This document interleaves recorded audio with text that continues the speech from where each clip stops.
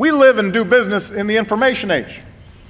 But the last major reorganization of the government happened in the age of black and white TV. There are 12 different agencies that deal with exports.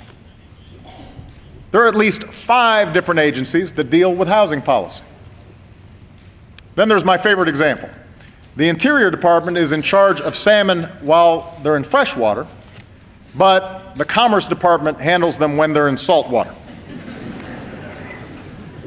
I hear it gets even more complicated once they're smoked.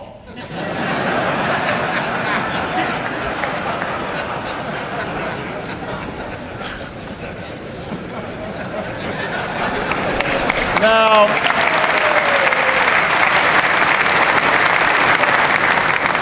we've made great strides over the last two years in using technology and getting rid of waste.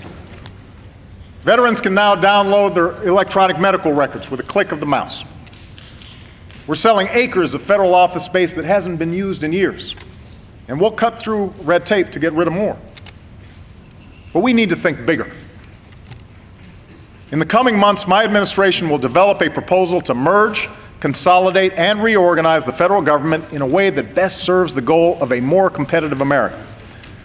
I will submit that proposal to Congress for a vote, and we will push to get it passed.